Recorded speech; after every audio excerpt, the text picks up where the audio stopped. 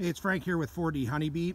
It's four days after my mite treatment with Apivar, and I just want to check out the hives and see if there's anything on the bottom boards because um, just, just, in the area, I guess. Um, I don't have a great expectation here because it's a long-term treatment. It's a minimum 42-day treatment because the only way they can spread the chemical is to uh, actually walk or rub themselves on it. So it's not like a fume or something like that. So it's going to take a while, but I'm just going to check it out here. It's the beauty of having these bottom boards.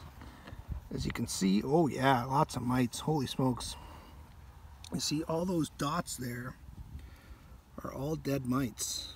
And there are thousands of them. Wow. Okay, that's just after four days.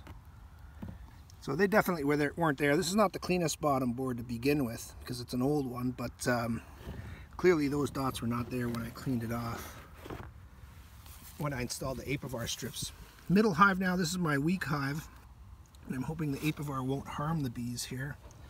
Oh, and look, so just in four days we've had one, two, three, four frames of brood hatch out, and again, thousands of dead mites. Look at them, hundreds, maybe, if not thousands.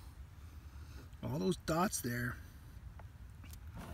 are all mites. See if I can show you one kind of up close. So that definitely a mite, as are all those. All those dots are basically mites. Last hive, same. Wow, thousands of mites just four days in. Wow, that's a real good sign. And you know, the other neat thing is, look at this hive here in the middle, it looks like a lot of the the concentration of mites happen around occur around where the brood is hatching out. So maybe I, I suggest that's a good sign because it shows that um, you're getting the mites that are either attached to the larva or the brood or in that area. So I'd say that's that's a good thing. Still have a a month to go in the treatment plus, but uh, so far the Apivar has worked. I do see a little bit of bee mortality here and over here where I've put out uh, a few frames just allow the bees to rob them, a few frames of nectar. But there's, uh, some mortality on top of this box for some reason. And may, that could have been just to do with the high intensity robbing activity, don't know. This guy's seeming okay.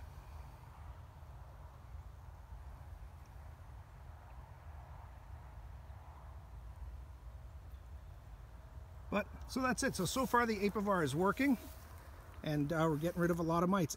I tried intensely to look for mites and I could not find a single one.